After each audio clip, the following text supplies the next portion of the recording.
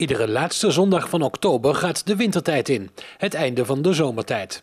Als het wintertijd wordt, gaat de klok in de nacht van zaterdag op zondag van 3 uur s'nachts naar 2 uur s'nachts. Achteruit dus. De wintertijd is eigenlijk de gewone tijd en duurt vijf maanden. Bij overgang naar wintertijd schuift de daglichtperiode een uur op, waardoor het ochtends eerder licht is en s'avonds eerder donker wordt. Als de zomertijd ook in de winter zou gelden, dan zou het rond de jaarwisseling pas rond 9 uur ochtends licht worden. In Nederland is het onderscheid tussen zomer- en wintertijd in 1977 opnieuw ingevoerd. Ook van 1916 tot en met 1945 was de zomertijd van kracht.